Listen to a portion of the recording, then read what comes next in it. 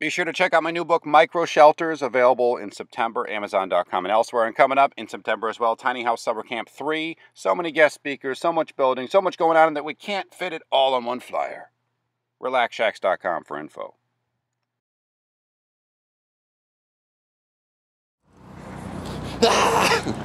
Hey, I'm Deek from RelaxShacks.com at the Tiny House Jamboree 2015, day number two. Quiet here right now, but in probably 30 minutes, going to be madness. We are currently, before things get too nutty, with Steve Weissman, Hello. Honcho of the Tumbleweed Tiny House Company. And uh, thank you. For, I know you're setting up things here. Thank you for giving us the time with the interview. Tumbleweed Tiny House Company. I'm sure if you're into tiny houses in any way, shape, or form, you've heard of them. And Steve's name's pretty much out there very prevalently. He is here with, as I change the angle, with the Tumbleweed Mica 20, and we're going to get a quick tour. Absolutely. So, uh, just at the Jamboree here, this is the second day. Day one was a lot of fun. I have never seen so many smiling faces with tiny house enthusiasts in my life. It's been a real blast. So, over here we have our Mica 20, and the 20 basically means that the unit is 20 feet long.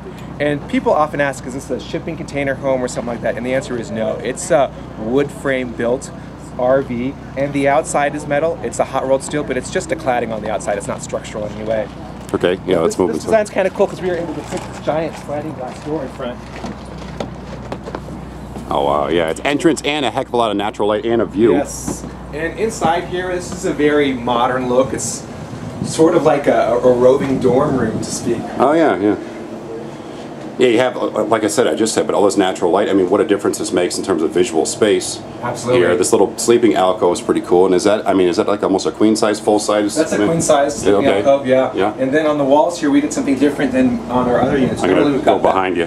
Normally we got the pine walls, but uh, here what we did was we put just regular sheetrock. Okay. We hot mudded it so it doesn't crack when you drive. I was wondering that because yeah. Yeah. otherwise the vibrations on the road, you get those fissures in there. Yeah, so this one's held up pretty good. Okay. Big old window here as well, kind of picture window style. Yep. Uh, I'm just going to show some of the features here. Some pretty ample cabinetry as well. And it's smart using that space over the bed where otherwise it's not like you're standing in the bed unless, you know, Yeah. things get a little too wild. But, uh, you know, some shelving as well. I'm seeing a lot of tiny houses lately where the windows are so small and it kind of bothers me. you know, you don't want to feel like you're in some Alcatraz jail cell. But here you guys have plenty of windows. Yeah, Yeah, talk about talk about the kitchen. Yeah, Sorry. this is a, just a really small kitchen. It's about as small as they get for us. And uh, we got the refrigerator, freezer under the countertop over here. Okay. And uh, you know, you got your basic sink. Up here we've got some cabinets for storage. Downstairs, most of down below, I said downstairs, but down below. There's a downstairs. you know, we use a lot of the space here for, Yeah. for your, your, your our utilities. And in the corner over here where you can't get to it, that's where the hot water heater is and the water pump and all Oh, of that okay, stuff. yeah, using up every inch there. Yeah. Cabinetry up above. Uh, talk about the uh, the systems we have up here So this quick. here is uh, it's called a mini split, and so on the tongue of the trailer is where we've got the air compressor, and uh, this is a heater and air conditioner all in one. Okay. And what's really cool is because these are so well insulated that in about 10 minutes you can get this to whatever temperature you want. It's actually nice and cool in here already. And I mean, it's early morning, but still the sun's out, and uh, Yeah, yeah, you you're gonna be thankful for that AC later. Yes. Yeah, check out the bathroom. People will kill me This if is- I don't show it. This is the smallest, smallest bathroom that we possibly can make. I can try to get in here. No, no this isn't bad. Come on. okay. Oh, there's my camera strap swinging.